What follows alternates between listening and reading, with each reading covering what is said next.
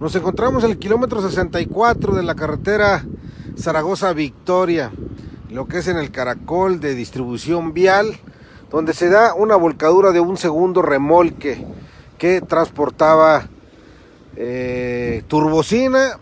Eh, esta curva, bueno, recién, recién reparado, eh, ya que hace algunas semanas se dio también una volcadura de un tráiler y bueno, aquí eh, afortunadamente pues no hay lesionados, ya que el tráiler queda lo que es allá arriba del puente.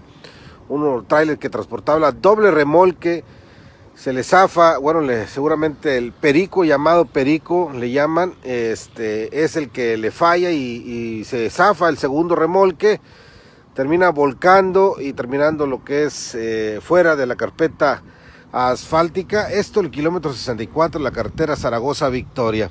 Ya en el lugar se encuentra auxilio vial y se encuentran unas unidades de protección civil Tamaulipas, ya que hay derrame del el combustible.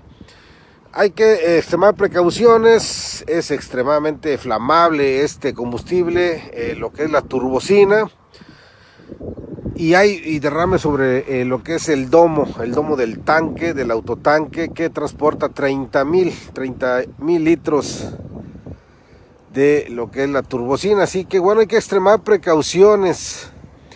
Hay que tomar precauciones. Si usted va a transitar por este tramo carretero, pues lo haga con las debidas precaución.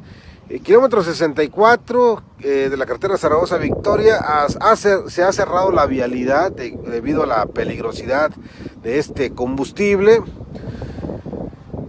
Ya en el lugar se encuentra también la policía estatal, pues tomando conocimiento de los hechos en la espera de Guardia Nacional.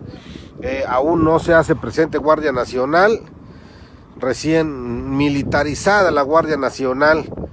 Y bueno, vamos a esperar eh, pues eh, tienen que esperar y asegurar el área para hacer el trasvase del, combustible.